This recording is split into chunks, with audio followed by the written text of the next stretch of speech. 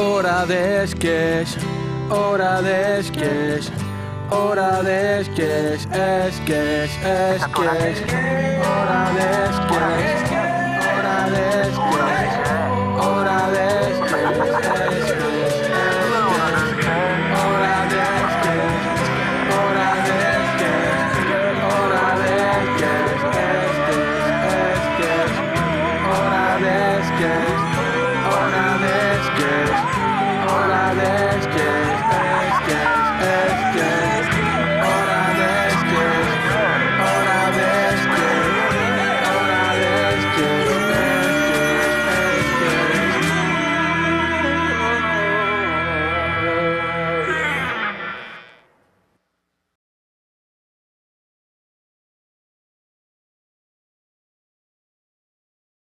Mi gente, un saludo bien grande a todos ustedes. El tema del día de hoy se llama así. Pequeñas cosas. Hemos decidido ponerle este título tan raro a este programa porque hay algunas cosas que retumban en mi cerebro desde hace mucho tiempo. Y estas son pequeñas cosas que hacemos o decimos que nos hace más la vida complicada a nosotros los cristianos. Sé que no entienden ni papa, pero ya lo harán. Estas pequeñas cosas no es que sea pecado, pero pueden llegar a confundir o crear malos hábitos entre nosotros o las demás personas. Por ejemplo, cuando utilizamos la Biblia como un amuleto para la buena suerte. Vamos a ver qué, qué Dios me quiere decir hoy. Háblame, Señor. Mm. Y arrojando las piezas de plata en el templo, salió y fue y sacó. No, Señor. No, no, no. Eso no es para mí. Bueno, entonces, a ver, vamos a intentarlo. Háblame, Señor. Háblame.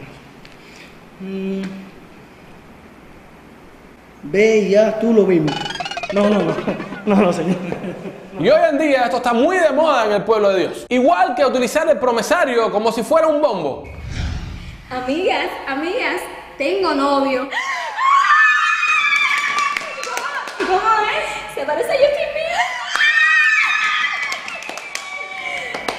Pero, pero no es cristiano y entonces quiere que vaya con él a la discoteca y no quiere venir a la iglesia y, y no sé qué hacer. No, espérame. ¡Un promesario! Vamos a ver si Dios te habla. Isaías 45:2 Yo iré delante de ti y enderezaré los lugares torcidos.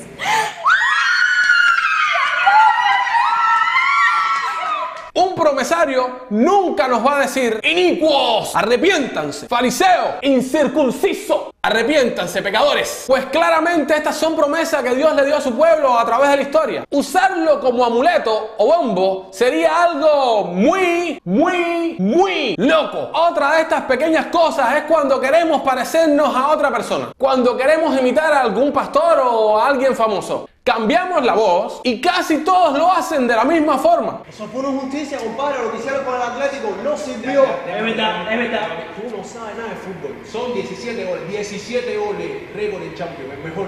El mejor. Cristiano, te viene conmigo. A la Madrid. A la Madrid. Hermanos, el Nuevo Testamento está lleno de amor. Amor por todas partes. No entiendo cómo hay hermanos que no se aman. ¿Tú amas a tu hermano? ¿No lo amas? Ámense. Ciertamente podemos llegar a ser tan influenciados por alguien que a veces incondicionalmente podemos llegar a parecernos a esta otra persona. Pero si detrás del telón eres una persona y cuando te pares a hablar en el público eres otra, puedes llegar a confundir a mucha gente o hacerles pensar que tienes problemas de personalidad o bipolaridad o algo raro. Otra de estas pequeñas cosas que están dañando hoy en día a nuestras iglesias es cuando le hacemos creer a una persona que por pararse adelante o levantar la mano ya es cristiana y está sellada con el Espíritu Santo. Y me viene a la mente cuando yo era un adolescente. La primera vez que me levanté luego del pastor haber hecho un llamamiento fue porque me coaccionaron a mi lado. La segunda, porque todos se pararon y yo no iba a ser el único que se iba a quedar sentado. La tercera, porque una joven muy hermosa lo hizo y pensé que sería buena idea acompañarla. La cuarta, porque nadie se paraba y me dio mucha pena con el pastor. Y realmente vine a sentir la presencia del Espíritu Santo dentro de mí, poco a poco, de una manera muy diferente a como piensan algunos. Y ese día no me tuve que parar al frente para darme cuenta que ya era cristiano. Entiendo muy bien que es bueno hacer esto. En nuestro templo, a esas personas que dan profesión de fe, luego se les da un seguimiento. Y cuando esto sucede, podemos saber sus datos y podemos acercarnos mejor a ellos y ayudarles. Pero ojo, con hacerles creer que una oración o venir a saludar al pastor salvan. Ser cristiano no es 2 más 2 igual a 4. Querido invitado, en esta noche, si usted quiere recibir a Cristo, puede hacerlo con solo levantar su mano. Dios te bendiga. Tú puedes estar seguro, hermano, que tú eres cristiano, que tienes al Espíritu Santo en tu corazón, que las puertas del cielo están abiertas para ti. Estás seguro que si hoy tú mueres, tú entrarás en el reino de Dios. Sí, así, hermano. ¡Dímelo! ¿Para tú vamos allá? Para disco, ¿no? Para disco. Para disco. A ver, vamos. Bueno, Vaya. compadre, compadre. Nosotros no acabamos de salir de la iglesia.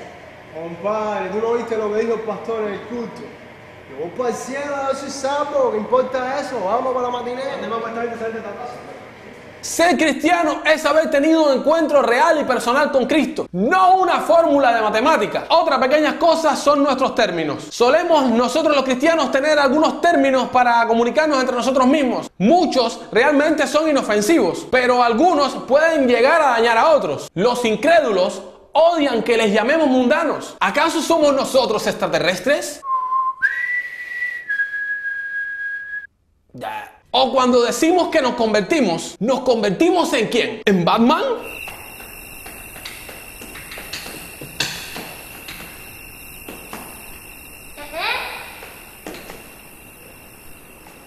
Cementerio. Ay, Dios mío. Ay, me tengo que cruzar todo yo sola. Y si hubiera alguien que me ayudara. Ay, mi madre, que te diga que... Abuelita, ¿cómo estás? Ay, Dios mío. Ay, sí, sí, mira, sí, mira, me hace falta. Yo vivo al otro lado del cementerio. Pero yo estoy sola. Yo tengo miedo que me pueda pasar algo. Ustedes me pueden ayudar. Sí. Mijo, es que ustedes no saben lo difícil que es vivir sola. Tener que atravesar todas las noches del cementerio no es fácil. Eso, eso te provoca un miedo. Pero bueno. No se preocupe, abuela. Cuando nosotros estábamos en el mundo, le teníamos miedo a todas esas cosas. Pero después que nos convertimos, ya ese miedo se sube. En el mundo. Se, se, se, convirtieron. Cuando nosotros estábamos en el mundo, cuando nosotros estábamos en el mundo, Después que nos convertimos, que nos convertimos, cuando nosotros estábamos en el mundo, que nos convertimos, nos convertimos. ¡Ay! ¡Ay, sí!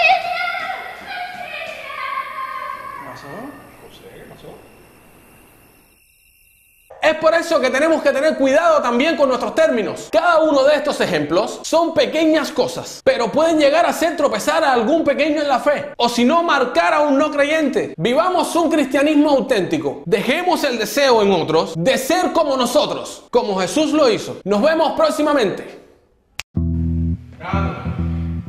Amigas,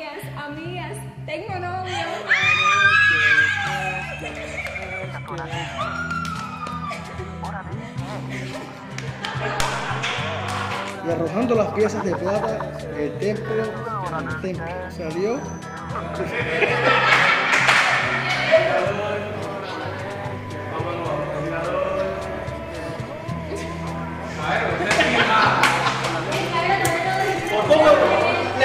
Tú puedes estar seguro, hermano. Hey, mi vieja, ¿cómo estás? ¡Ay!